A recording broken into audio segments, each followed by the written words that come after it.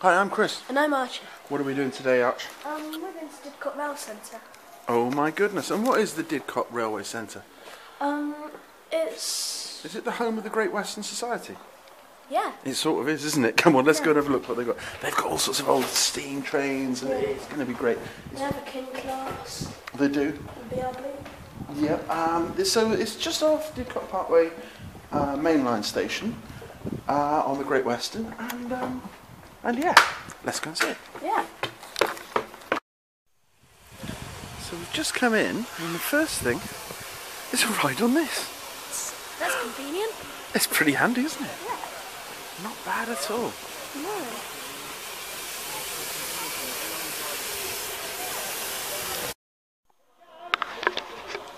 It's one of these lovely old carriages I remember. Yeah, three on three. Great way to travel. And sticking your head out the window and not getting your head knocked off by a telegraph pole. I think this is quite interesting. What's that?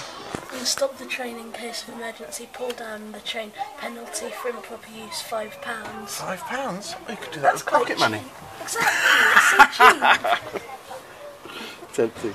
Nowadays it'd be like £200 or something. Oh yeah, yeah.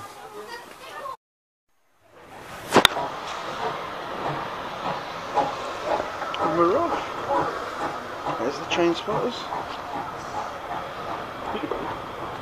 So we're in two chocolate and cream Mark 1 coaches. We are gorgeous, aren't they? And this is the kind of thing that Didcot is just full of. Just tons of old rolling stock. Yeah. And there's a water tower, because behind it you can see the, the modern station. Yeah. But that's no fun. Look at this old stuff. Nice there. yeah, We're going to have a detailed look at all of this. I reckon so.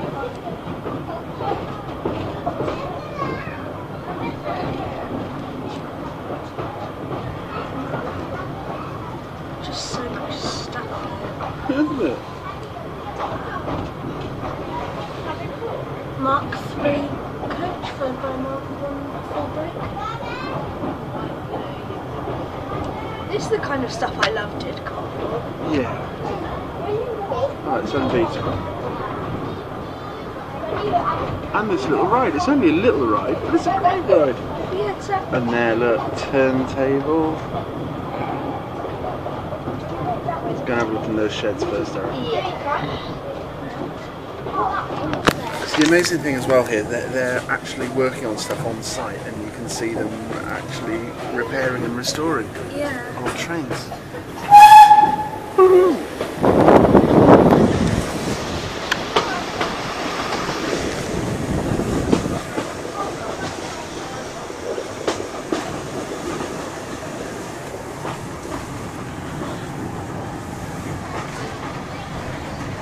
Don't think anyone's going to be restoring those ones.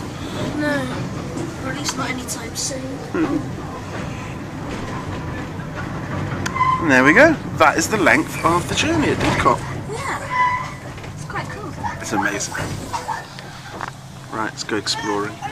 Yeah, let's do it. So amongst all the amazing things at Didcot, this, this looks like standard gauge track arch, but why aren't those axles fitting on it? Because they're walking like that track there. Like this track here. Yes, Didcot has broad gauge, the old Stephenson, and they got some locos inside that shed. Oh, it's proper massive, isn't it, broad gauge? Yeah. Alright, I've just noticed something. This is standard gauge. Yeah. And if we try to along over here, it's broad gauge. Also, look, they've put an extra line here So, standard gauge. It can be either, yeah, yeah. yeah. And a minute ago I said Stephenson's broad gauge, and what I meant is Brunel's broad gauge, isn't it? Mm. Anyway, look, here's Firefly, or it's a recreation of. Yeah. Amazing. Here we are, Iron Duke. One of the old. What's that, sir? Another one of those broad gauge engines. Absolutely, yeah. Look at that massive wheel. I love the big old middle wheel. And it's also interesting how more modern steam trains, not that steam trains are modern, but they're using wooden, um, what's it called? Boilers. Right, we've just uh, given Archie a clip round the ear roll and sorted out that issue about wooden boilers. Um, no, more seriously. Um, and then they've got some of these early carriages. Um, considering obviously trains went a lot slower then, they don't do the 125 miles an hour. Um, but still, it's a bench seat, yeah. Sat opposite. There's no cushions, there's no windows. And also, not that much gap. Not much Oh, sure, yeah, I'm completely bobbing my head, yeah. Hmm, Do you think people were a bit shorter back then? No, not all of them. Now, one of the great things here, I think, if you if you're a bit of a rebel like me, you can actually break rules. Look, we can cross lines. We can cross broad gauge lines. There's no trains coming. We can do what we want. I doubt it. There's no trains coming. Look, we can walk down the lines. Can't do this on the tube.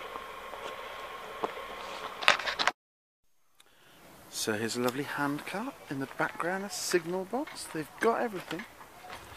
What's Archie sat in? It is, isn't it? You've got a tiny one of these that Dorian gave you, haven't you? Yeah. And here's the real, genuine Wickham. Yeah. Ooh, lovely, isn't is, I doubt if it's as fast as your uh, Bachmann one, is it? no, I don't. Quite a racer. or at least in scale miles per hour. No, quite. This is amazing. Amazing that it survived, and amazing that it ever worked. It's Brunel's crazy. Um, he called it atmospheric caper. Um, so you you cause a partial vacuum in the pipe, and it pulls a train along. Roughly, that's what it's saying. Um, I don't understand it, and um, and it only ran for seven months, so perhaps it wasn't a great idea. But pulling a train in the 19th century with a partial vacuum sealed by leather, I, I don't know. That's pretty impressive. Impressive, yeah. Confusing to me. I don't know. Return to Paddington. What have we got here, Arch? Um, a sleeper coach. Sleeper coach. But It's it's a Mark bit 1. different. Go on. Look, it's got three real bogies. Hmm. I have seen these before, but only in Hornby format. They're quite cool. yeah. What's this, Arch? It's a GWR rail car. Number 22 in chocolate and cream. Hmm.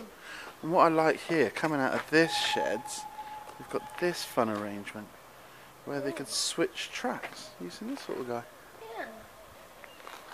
And it and it does clearly work because this is quite because this is Oh yeah, because they've actually used it to get these in. yeah. Yeah, of course, yeah, amazing. Okay, we're inside sheds now. Look at these. Arch, these are proper old, aren't they? Like 19th century, aren't they? Looks like it. And also, I'm pretty sure last time we were here, these were just bits of wood. We have been here a few times before. Yeah. So this is all refurbished. And what an amazing job they've done. And I think these would be perfect coaches for that little branch line going back and forth. Yeah. 'Cause they're small, very old, and beautiful interiors. Stunning. this is what we mean restoring stuff. So here, I mean, that's that's got to be original framework. They're putting new wood panelling on, like this, and then we saw the finished product further up there after they've um, done done it. And also, something else that's quite curious. Go on. They also put meerkats on the front.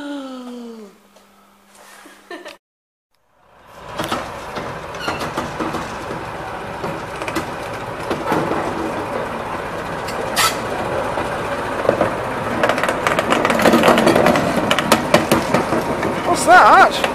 It's a class 14 in BR green. Yeah. So there's a few things running today here. Yeah, that's what I like about this place. Yeah. So much going on. Maybe that's why they didn't want us to go on that track. Archie said earlier there was a king class here. King Edward II, it is. Yeah. Um, it's not in great condition, Arch. There's not much of it. No, these are the old wheels of it. They do actually have the Drive wheel, isn't it? Yeah.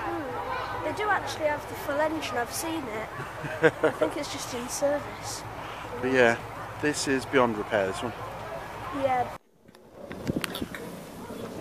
Well, that's the one that was shunting us around a minute ago, isn't it? Yeah, I think so. Yeah, it is. Is that a Class 8 shunter? Where are we, Arch? We're in this amazing shed. Just absolutely chocker of steam locos. Yeah. Let's go explore them. Incredible. Just tons of them. Look, more behind. Hmm. What's this one? Lady Legend. Yeah. What a nice steam engine.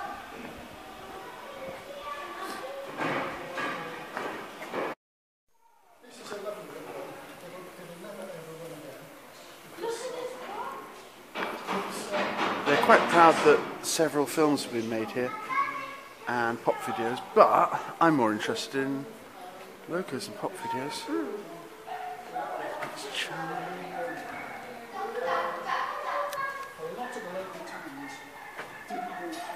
It's. It's just crazy, and also crazy how close up you can get.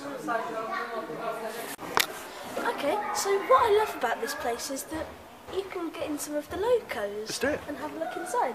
So like this one here, it's gorgeous.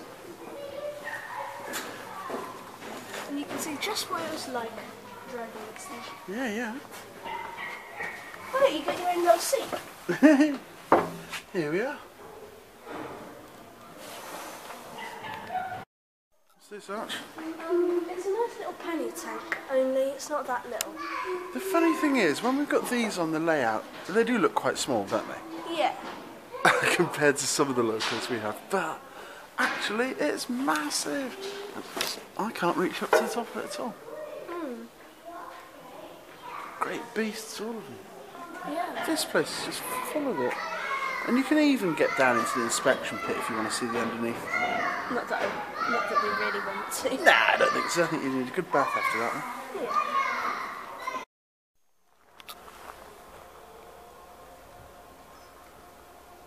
Someone's done a great weathering job on this. Wow.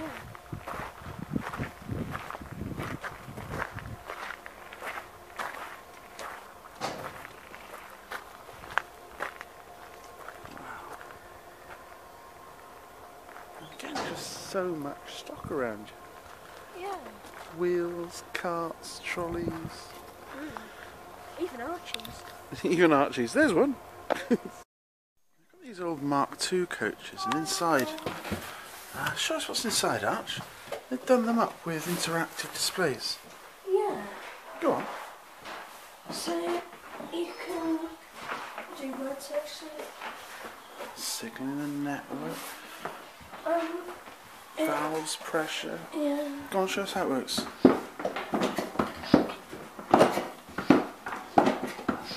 Oh, I see, yeah, yeah.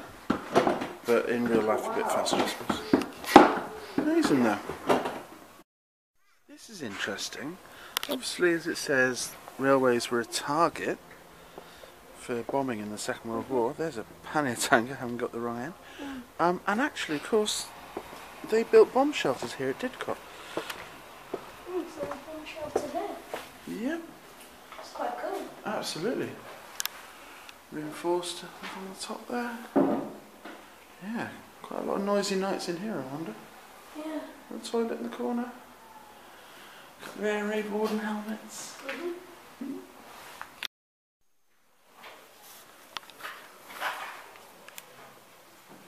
Here we are inside the GWR Museum here.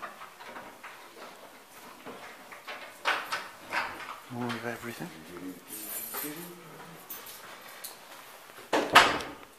Very cool. So there's another old bomb shelter. Um, but here's a new uh, signalling display. Let's go inside. Yeah, let's do that. Signalling centre, okay.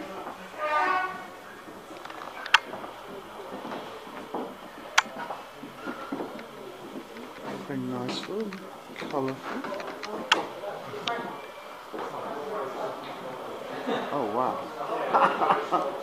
That's the layout we want, isn't it, Arch? Yeah. Let's get one of them in the living room.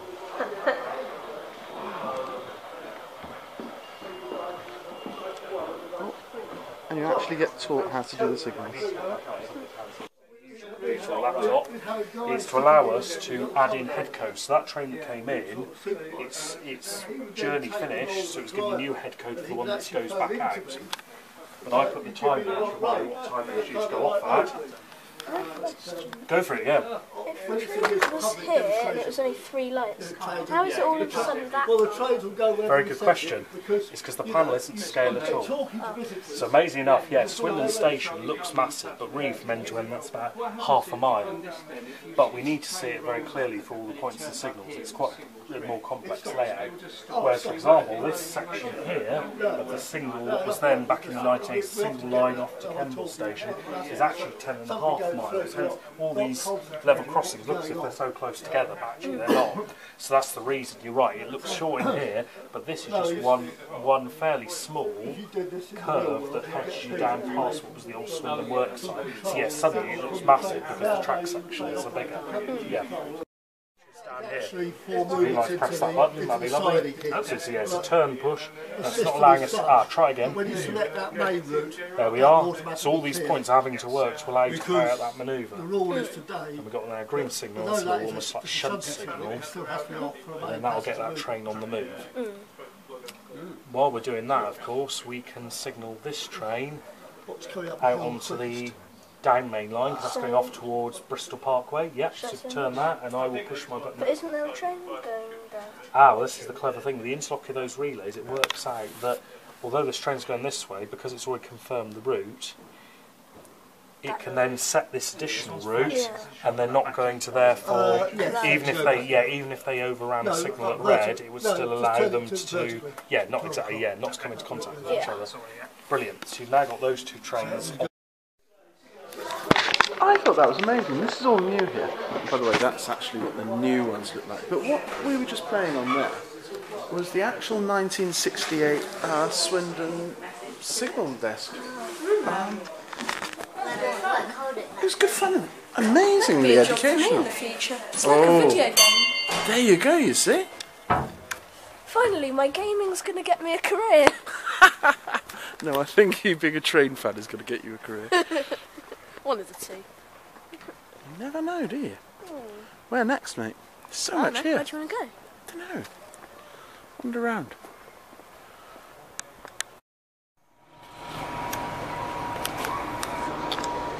So what are we on here, Arch?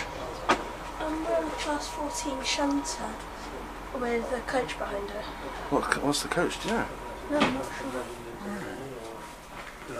Oh, we've got the smoking compartment there, that's a good thing.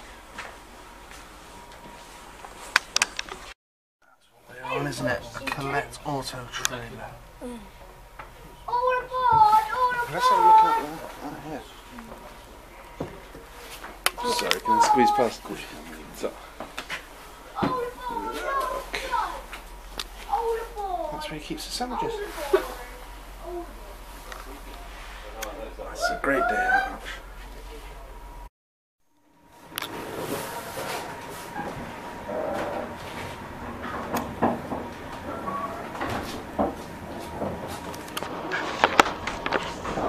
We are, Arch. Didcot Railway Centre. What do you think? I love it. We've been before, we've been several times, we've just never filmed it. Um, but as you see, if you like steam, British trains, uh, this is the place to be. It's just incredible. Yeah. We filmed maybe half the stuff here. There's more stuff. There's stuff in every little corner hidden away. Yeah. Oh, we haven't done the turntable yet, have we? No, we haven't. See, there's always something else. Not sure if we'll make it. Oh no!